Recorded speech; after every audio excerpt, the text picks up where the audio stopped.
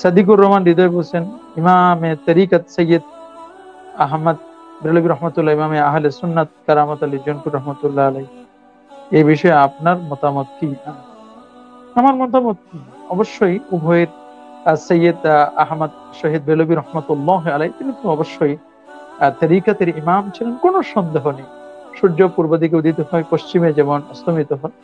এটা যেমন সত্য, সৈয়দ শহীদ আহমদ বেলবী রহমতুল্লাহ আলাই তিনি একজন তরিকার একজন বিশিষ্ট ব্যক্তি ছিলেন, কোনো সন্দেহ নেই। তরিকার তিনি খাদেম ছিলেন। আর আল্লামা কারামত আলী জনপুর রহমতুল্লাহ আলাই তারও খেদমত ছিল। অসংখ্য খেদমত করেছেন। তিনি আসাম, ভারত, বাংলাদেশ সহ বহু জায়গায় তার খেদমত, তার এলমি খেদমত এবং তার তরিকা তাসৌফের খেদমত। কোনো অংশ, কারও কোনো তুলনা চলে না। প্রত্যেকের আলাদা আলাদা খেদমত আছে। এটা মনে রাখতে কারও খেদমতকে ছোট্ট করে দেখার কোনো সুযোগ নেই। হ্যাঁ মাসলাকে আলা হজরতে তাদের যে খেদমত তা কিন্তু নয়, অবশ্যই তাদের অনেক খেদমত সবাই যে খেদমত করবে প্রত্যেকের খেদমত আছে, কারও খেদমতকে আমি স্বাভাবিকভাবে, আমি তো জনপুর রহমতুল্লাহ দেখি নাই সৈয়দ শহীদ আহমদ বেলবী রহমতুল্লাহ আলাই কেউ দেখি নাই, তারপরে আলা হজরত রহমতুল্লাহ আলাইকে, মাসলাকে আলা হজরত আলা হজরত কেউ দেখি নাই, রহমতুল্লাহ আলাই কিন্তু তাদের অনুসারীদেরকে দেখেছি সকলের অনুসারীদেরকে সাথে তো আমাদের এখন দেখা হয়। মনে করেন চট্টগ্রামে যারা আছেন, তারা আপনারা এখানে খেদমত করে যাচ্ছেন মাসলাকে আলা হজরতকে কেন্দ্র করে। আপনাদের খেদমতটি সেখানে চলছে, আলহামদুলিল্লাহ। আবার যারা সিলেট অঞ্চলে আছেন, সিলেট অঞ্চলে, সিলেট, বৃহত্তর সিলেটে, দেখবেন যে সেখানে আল্লামা সাহেব কাবলা ফুলতলি রহমতুল্লাহ আলাই তারা সেখানে সে অঞ্চলটিতে খেদমত করে যাচ্ছেন। আর অন্যদের খেদমত যে নাই, সেখানে সারসিনার কিছু খেদমত রয়েছে, অন্যান্য মাসলাকে আলা হাজরতের কিছু খেদমত আছে, কিন্তু সিংহভাগ খেদমতটি তারা দারুল কেরাত সহ আরও অসংখ্য ভাবে তারা কিন্তু সিংহভাগ খেদমতটি সেখানে তারা করে যাচ্ছেন।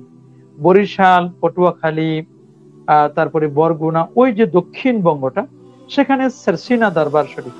বিশাল তাদের খেদমত দেশের সর্বপ্রথম টাইটেল মাদ্রাসা এবং নাম দারুস সুন্নাত। সেই যে দেশের সর্বপ্রথম টাইটেল কামিল মাদ্রাসা দাউরা হাদিস এবং সেখান থেকে হাজার হাজার আলিম, ওলামা, মহাদ্দিস মুফাসের ফকি আদিব, প্রিন্সিপাল, ভাইস প্রিন্সিপাল বের হয়েছেন। তারা কিন্তু সে অঞ্চলে খেদমত করে যাচ্ছেন। এছাড়াও চাঁদপুর সহ সারা বাংলাদেশে কম বেশি তাদের কিন্তু খেদমত রয়েছে। নাই তা নয়। তারপরে আপনি যদি দেখেন যে কারামত আলী জনপুর রহমতুল্লাহ তাদের কারামত আলী রংপুর সহ সারা বাংলাদেশে তাদেরও কিন্তু অনেক খেদমত রয়েছে। সারা বাংলাদেশে বিভিন্ন জায়গায় জনপুরি খানদানের বিভিন্ন অলি আল্লাহরা, তারা এসে কিন্তু খেদমত করতে চায় এই জন্য তারপরে আপনি আরও যত দরবার রয়েছে, শুধু আমি তো কয়েকটা কথা বললাম আরও এরকম বহু দরবার রয়েছে। কিছু দরবার আছে জেলা ভিত্তিক কিছু দরবার আছে থানা ভিত্তিক। প্রত্যেকের কিন্তু আলাদা আলাদা ইন্ডিভিজুয়াল খেদমত রয়েছে জুজইক খেদমত কিন্তু প্রত্যেকের কিন্তু রয়েছে। কারও কোনো খেদমতকে ছোট করে দেখার কিন্তু সুযোগ নেই। এখন যদি বলেন যে না আমারটাই আসল খেদমত আমি ছাড়া আর কেউ নাই এটা কিন্তু ভুল হবে। হ্যাঁ, আপনি আমি যদি বলি যে আমি সব করে যাচ্ছি বাংলাদেশ ঠিক নয়। আমি আছি আমি একটি প্রতিষ্ঠান নিয়ে আছি।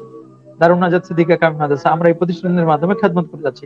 আরেকজন আরেকটি প্রতিষ্ঠানের মাধ্যমে খেদমত করে যাচ্ছে। আমারটা খেদমত, তারটা খেদমত নয়। তারটাকে আপনি কীভাবে দেখবেন? সব ছাত্র কি সারা বাংলাদেশের সব ছাত্র কি এক প্রতিষ্ঠানে সারা বাংলাদেশে হাজার হাজার প্রতিষ্ঠান প্রত্যেকে বিভিন্ন খেদমত করে যাচ্ছেন। আমি এক ধরনের খেদমত করছি, আরেকজন সবার খেদমত সমান হবে, তা নয়। কেউ কম করবে, কেউ বেশি করবে, কেউ আরও একটু বিভিন্ন, কেউ মার্জিত ভাষায় করবে, কেউ নরম থাকবে, কেউ গরম থাকবে, কেউ রোহামা থাকবে, কেউ আশিদ্দা থাকবে। এরকম তো স্বাভাবিক, সব আমার মতো হবে, এটা আপনি কেমনে বুঝলেন? সবাই আপনার মতো হবে, এমনটা কেমনে বুঝলেন? আল্লাহ তালা তো বিভিন্ন মানুষকে বিভিন্ন ক্যাটাগরি দিয়ে তৈরি করেছে সাহাবাইকরামকে সবাই একরকমের ছিল একজন আরহাম উম্মাতি, একজন আসাধ্য হুমফি আমরিল্লাহ হমর আরহাম উম্মাতি আবু বকর রাদিয়াল্লাহু তাআলা আনহু আসাধ্য হুমফি আমরিল্লাহ হমর রাদিয়াল্লাহু তাআলা তিনি কঠোর ছিলেন। আজদাকুম হায়া আন উসমান, লজ্জাশীল সাহাবী উসমান রাদিয়াল্লাহু তাআলা ওয়া আকদাহুম আলীউল মুত আলী রাদিয়াল্লাহু তাআলা। সাহাবীদের মধ্যে সবচেয়ে বড় বিচার কার্য এক্সপার্ট আরেকজন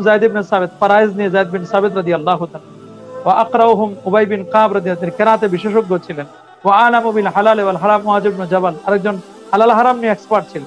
তাহলে এক একজন দেখুন এক একজনের কোয়ালিটি কোয়ান্টিটি এক একজনের এক এক সিস্টেম সবাইকে সঙ্গে একজন রহিসুল মুফাসসিরিন, একজন রহিসুল মুহাদ্দিসিন, একজন রহিসুল ফুকাহা। তাহলে এক একজন সাহাবাইকরাম এক এক ধরনের যোগ্যতা ছিল। সব নবী কি সমান ছিলেন? কয়েকটা বিষয় সবার সমান, যেমন তৌহিদের ব্যাপারে। শির করা যাবে না নেবে। সবাই কথা বলেছেন। আল্লাহর ইবাদত করো, আল্লাহর সাথে শরীর করো না। এটা সমস্ত আম্বিয়ান দাওয়া ছিল। পরকালের ব্যাপারে সবাই একই বক্তব্য ছিল। আখেরাতের ব্যাপারে সবার একই বক্তব্য ছিল। সমস্ত আম্বিয়া আলী মুসাল্লাত ইসলাম তারা আখেরাতের ব্যাপারে বক্তব্য দিয়েছে। এই বিষয়গুলো কিন্তু আমাদের খুব ভালো পরীক্ষা